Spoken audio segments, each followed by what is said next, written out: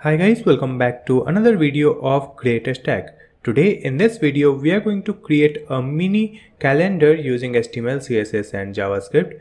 You can see on my computer screen here we have one calendar that display the date, day, month and year. It is displaying the current date. Let me show you in my computer. You can see the current date is 13th June 2023 and the day is Tuesday. So it is displaying the current rate with the help of JavaScript. Before starting this video, please hit the like button and also subscribe my channel Great Stack. Now let's start this video.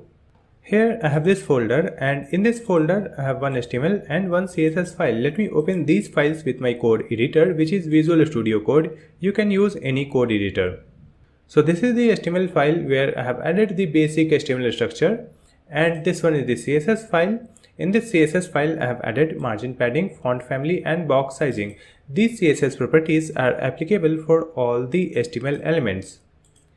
In this HTML file, I have added this title, mini calendar using JavaScript great Stack. And here we have the link tag that will connect the HTML file and CSS file.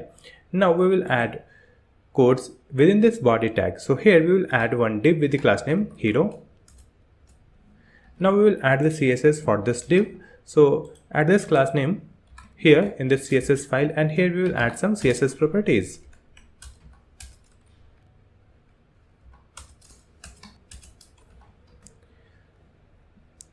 For this class, we have added width 100% and min height of 100 VH. Then background, in the background, I have added the linear gradient color. Then I have added display align items and justify content so it will align all the contents inside this div in the center.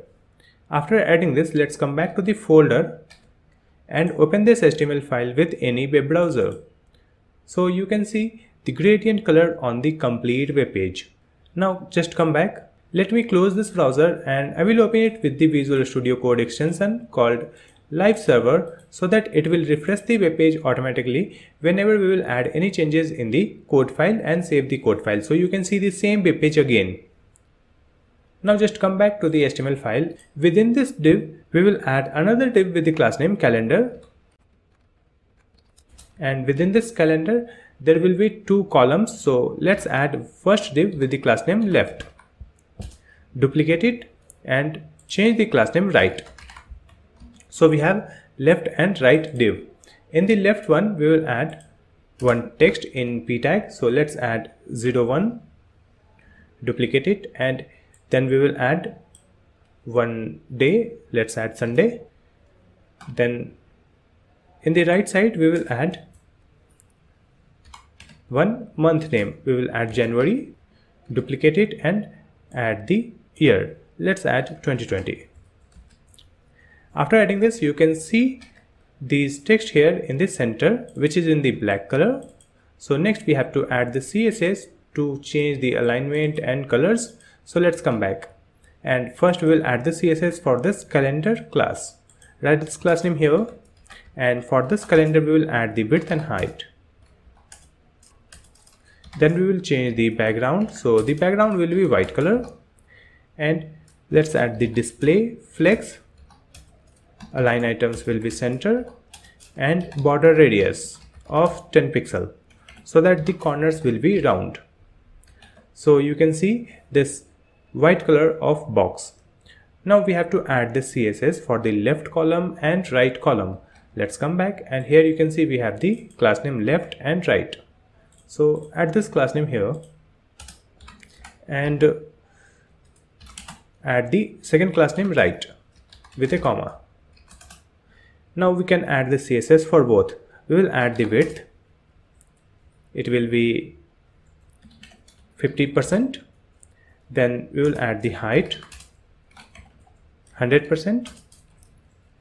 Display will be flex. And align items center justify content center. Then we will add the font size so the font size will be 24 pixel. So you can see the increased font size for these text. Next we have to add one background color in the right column. So let's come back. And here we will add the class name for the right column. And in this one we will add the background. Let's add one color code. And you can see the color has been changed. And we have to change the text color also. So let's come back. And here we will add color white. So you can see the white color text. Next we have to add the border radius and we will change the size of the column. The left column will be large and the right column will be small. So let's come back. Here we have added width 50% so remove this width it is adding 50% width in the left and right both columns. So add this width here in the right column and let's add 42% width is small and here we will add the class name for the left column. And in this one we will increase the width. It will be 58% so total it will be 100% 42 plus 58 now in the second one we will add the border radius so let's add the border. Top right radius. So it will be 10 pixel duplicate it and it will be border. Bottom right radius 10 pixel. So this box looks good. Right now this 01 text and this day name Sunday is coming in the same line. So we have to align it vertically. So let's come back and uh, here we will add flex direction column. That's it. Now it looks good. For now we have added date month year manually. So we have to update these date and month using javascript. So it will display the current date. So let's come back and come to the HTML file. And just above this closing body tag we will add a script tag, a script open and closing tag. Here we will add all our JavaScript code. So we have to update the content in this P here, January and this year. So let's add one ID in each text where we have to update it using JavaScript. So we will add the ID it will be date the second one is day this is id month and this is id year. So we have to update this date day month year. So let's add the variables for all those things in this javascript. So we will add const date equal to document dot get element by id and write the id date. Let me duplicate this line and we will change the variable name and id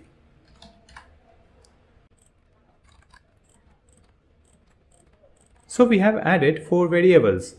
Next we have to get the today's date. So here we will add const today equal to new date. So in this today we will get the current date. Let's preview this one. We will add console.log today it will be date open the console tab and here you can see Tuesday June 13th 2023 so it is displaying the current date in this console. So we have to update this data on our web page.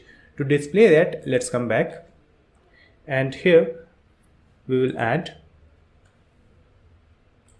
this date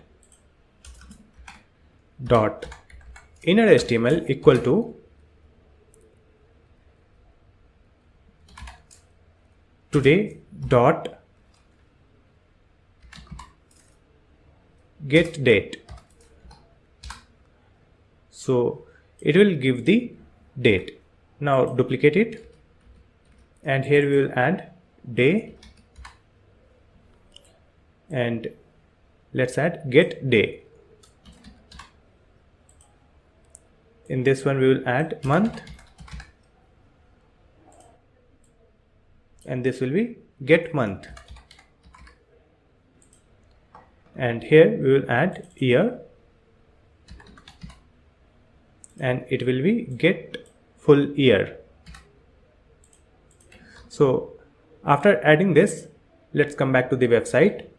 And now you can see it is giving 13th 2 5 and 23 so you can see the date 13th is correct year 2023 is correct and here we are getting 2 so it is not actually giving the day which is the Monday, Tuesday. It is giving the number. It is 0, 1, 2, 3 like that. And here also in the month it is giving 5. So 5 is actually June because the number is starting from 0 and the day number is also starting from 0. So to display the day and month in the text, let's come back and uh, remove this console. And here we will add const week days. Let's create one array. Weekdays equal to in this one we will add all the weekdays so the weekdays will start from this sunday. Sunday will be 0 now we will add the months. So we will add const all months equal to again one array that will contain all the month's name like this. Now we have to display these day and month according to the number that we are getting from the javascript in this get day it is giving 0 1 2 3 4 5 6 so 0 will be Sunday, 1 is Monday, 2 is Tuesday like that. So to display the day name here we will add weekdays today get day. Suppose the get day displays 0 and here we are adding weekdays 0 so it will display Sunday. If it is 1 so we are adding weekdays 1 so it will display Monday like that. And let's add the same thing in this months so here let's add all months. And today dot get month like this. After updating this come back to the website again and now you can see we have 13th Tuesday June 2023.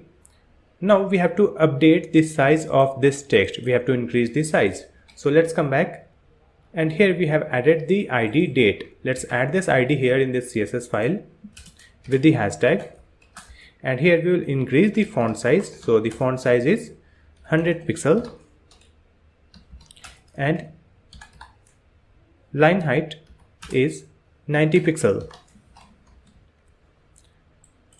so now this font size looks good. Right now it is displaying 13th but if the date is 1, 2, 3 like that so it will only display one digit. So we have to display the two digit like 01, 02, 03 like that. So to display the double digit numbers let's come back and here we will add one inline if statement in this date. So let's add today dot get date. If it is less than 10 it is single digit then it will add one zero. Else it will be empty. Like this. And here we will add one plus after adding this it will always display the date in two digit so the date is 1 so it will display 01 and everything is same here.